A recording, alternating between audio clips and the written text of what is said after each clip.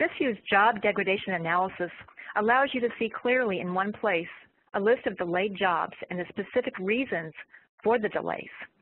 In fact, it will show you multiple reasons for the delay of one specific job. The command requires RMF and is based on the last interval of data gathered by RMF Monitor 3. So here it gives you the number of samples, in this case 900 samples, and it gives you the interval um, in seconds. So it's been taking one sample per second, and this is the time when the last interval started. So on the left of the screen it's a list of job names that are delayed sorted by percentage of time the job was waiting on resources during the interval. This field right here, percentage, is sorted and it's sorted descending and it's also a status field that shows um, a warning if it's 50% or greater, as you can see here in this job, um, it's a warning at 65% of the time we've been waiting on an operator reply. And if it's greater than 75%, we have a red for problem.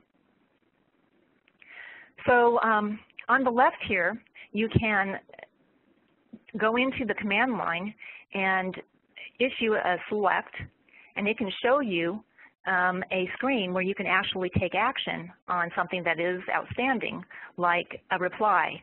I can issue a reply here and then actually reply to the message that's delaying the job. So that's going to be different for every type of reason.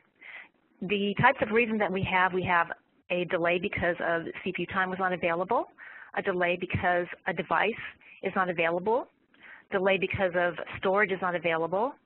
We have a, subsystem type delay, which can mean JES or HSM or XCF resources are not available.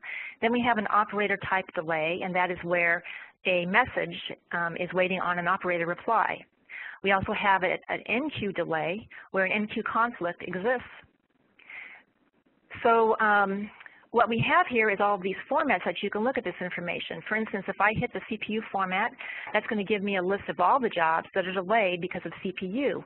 And in the detail field for CPU format, it's going to give you a list of the five jobs that are taking up the CPU that this job is waiting on.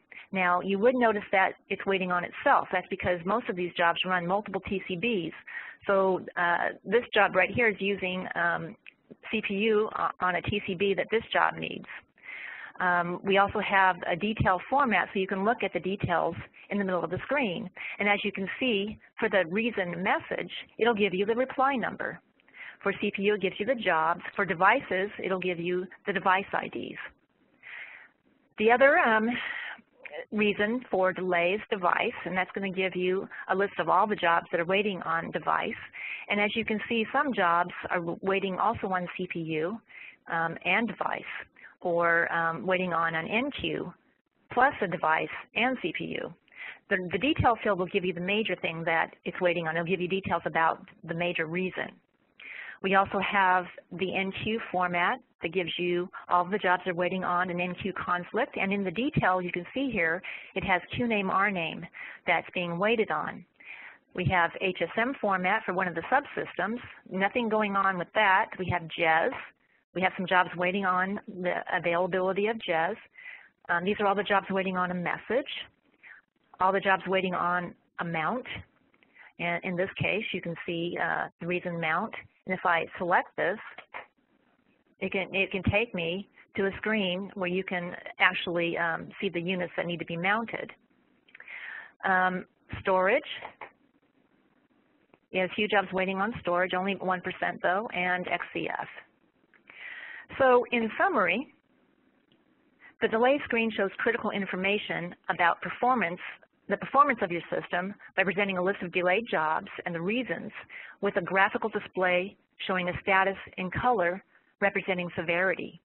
You have the information you need to take quick action. Thanks for your time.